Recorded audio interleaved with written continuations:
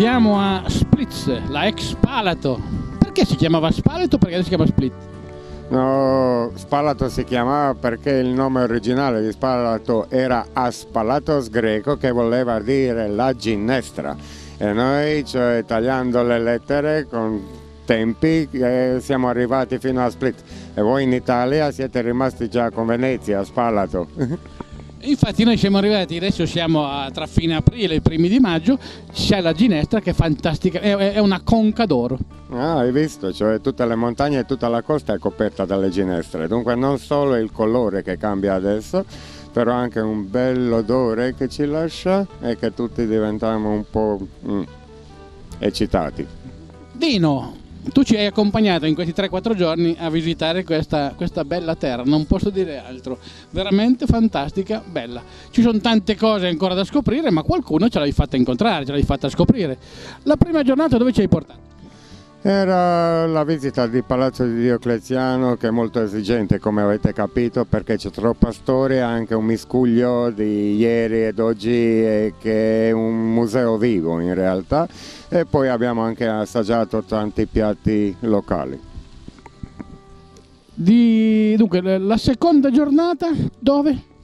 Seconda giornata erano dintorni di Spalato, dunque anche siti molto importanti, anche UNESCO come Trogir, quella piccola isola città, anche che la chiamano la piccola Venezia, e poi anche il sito archeologico più importante di Croazia perché sono i residui della capitale, della ex capitale Salona durante l'impero romano. E anche poi una bella fortezza Clis che era conquistata dagli ottomani, ti ricordi anche dove hanno girato il trono di spalle e anche tutto il tempo mangiando tutti i piatti tipici locali della zona, agnello che era il mio preferito, ti ricordi? Eh? Come? Anche perché è fatto in un modo particolare, c'è una campana, eh, sopra viene messa la, la, la cenere, la brace, me la spieghi questa ricetta? Sì, si chiama pecca, eh, come forno tipico che già abbiamo trovato le pecche, erano quelle di ceramica, di terracotta, però già dal IX secolo a.C., dunque prima dei forni quelli moderni, mettevano tutto in una cassaruola, tutto già preparato, poi coperto con quella campana oggi di ferro e braccia di sopra e poi si cucinava così un'ora e mezzo, però tutto il sapore rimane dentro non evapora e per quello che ha un sapore molto tipico. Tu ami la tua terra ma più che altro ami la storia di questa terra.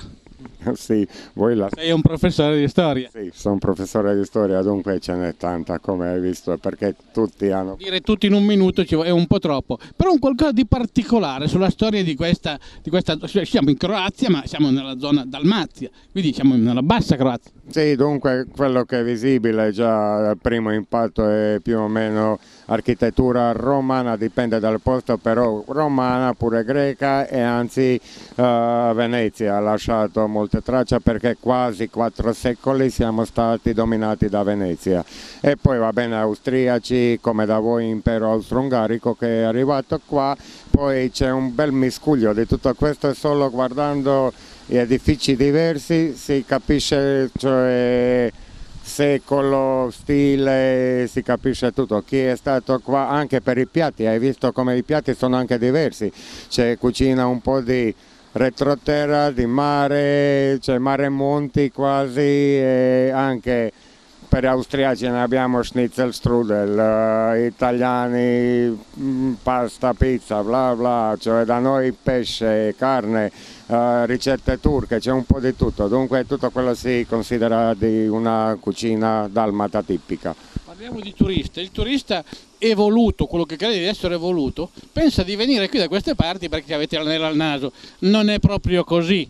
Anche perché tu mi hai raccontato che eh, ci sono dei personaggi che sono nati qui, di, di, sangue dalmato croato, che hanno fatto che cosa? Dimmi un po' qualcuna di queste cose, eh, di queste mh, invenzioni, scoperte strane. Beh va bene, come sai che Croazia già dopo aver per perso l'indipendenza e che abbiamo solo cambiato le bandiere, anche non era unita perché Dalmazia ha avuto la storia sua, dunque però sotto le bandiere degli altri noi abbiamo, non so, inventato uno nato qua a Quar per esempio quando si è spostato in Argentina a Buenos Aires ha inventato non lo so impronto digitale. Qua abbiamo inventato paracaduto poi torpedo sommergibile ci sono tante cose la penna stilografica pencala e la cravatta che è proprio un simbolo che è una cravatta croata croata cravatta perché i francesi hanno dato il nome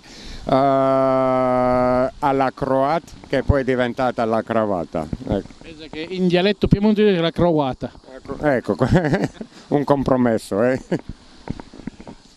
Anche sì, sapete che anche Tesla, Nikola Tesla, era nato proprio qua di retroterra di Croazia, era ad una famiglia serba però nato qua eh, che la prima centrale idroelettrica europea di ACDC, è proprio stata sulle cascate di oggi Parco Nazionale di Kerka, Krka, eh, che la più antica turbina ancora sta lì.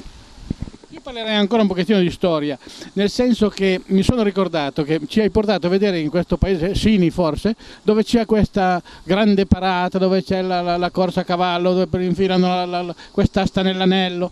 Sì, questa gara che voi avete anche in Sardegna oggi perché non era tipica solo di questa zona, però questo anche oggi che ne ha una cultura di più di 150 anni, uh, dunque perpetua, diciamo che ancora è un simbolo che si celebra la vittoria contro i turchi. E proprio era il momento in cui i turchi hanno cominciato a ritirarsi, cioè verso est e perché dopo questa perdita possiamo dire che non, hanno, non si sono mai recuperati. Ecco. Dunque è in onore di tutto questo come una evocazione di storia gloriosa, hai visto come sono tutti fieri.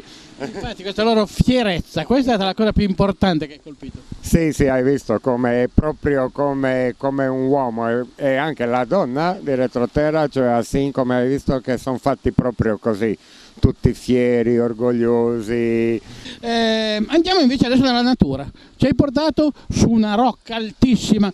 Che proprio abbiamo visto il foce del fiume Zettina che è il nostro fiume più lungo di, Croazia, di Dalmazia, non di Croazia, solo di questa parte meridionale, e che hai visto com'è bello perché proprio al missa come lo chiamate voi che omneum che era prima che voleva dire in lingua antica frigiana che vuol dire la porta perché proprio la porta è un ingresso dal mare in retroterra via barche però solo i pirati, i nostri pirati che abitavano lì avevano queste barche che potevano nascondersi dai nemici sì, abbiamo visitato anche di retroterra, poi proprio quelli mulini che ancora funzionano, cioè hai visto che dal 1600 che queste famiglie un po' più ricche, o se non erano ricche sono diventate ricche con questi mulini, e che proprio lì diciamo ancora uh, si macina il grano nel mondo in cui lo preparavano prima usando solo la forza d'acqua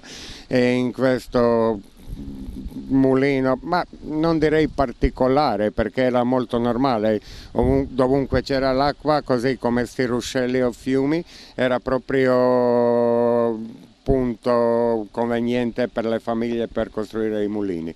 Però ecco anche un modo di mostrare come qua si mangia sano. Dunque qua gluten free non è accettabile.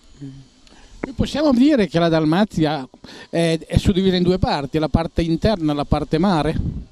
Ma, sì mare e monte. Hai, hai, anche visto le montagne che si già vedono da mare perché sono molto vicine, come un muro naturale fra retroterra e la costa e che anche la mentalità cambia perché anche storia non era uguale loro. Per esempio noi siamo stati qua in città fortificate sotto Venezia, loro sono stati sotto l'impero ottomano, dunque anche sai, anche, anche, per noi il dialetto che noi parliamo qua per esempio è compromesso fra veneto e antico croato, loro che parlano anche usano troppe parole turche, anche tedesche dopo quando i tedeschi sono arrivati, dunque c'è un miscuglio. Eh.